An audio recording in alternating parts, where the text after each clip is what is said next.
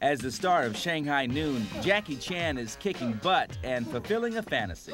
You know, the cowboy is every children's dream. Like me, when I was young, I looked at John Wayne, Clint Eastwood. Na, na, na, you know, you just, ah, I'm here.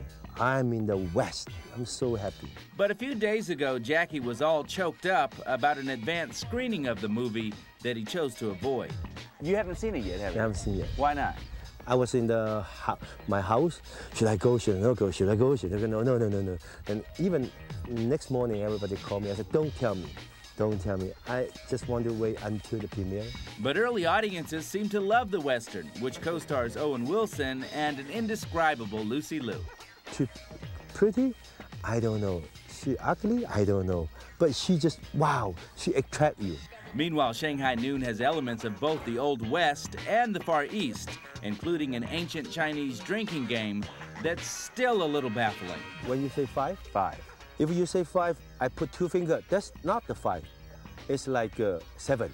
Right. Okay. When I said okay, one, two, ten. See, I win. Okay. So it is, It helps if you're drinking. yeah, yeah. Jackie, thank you very much. Thank I you very appreciate much. It. Thank you. I really enjoyed the movie too. I hope you get to go see it. I will.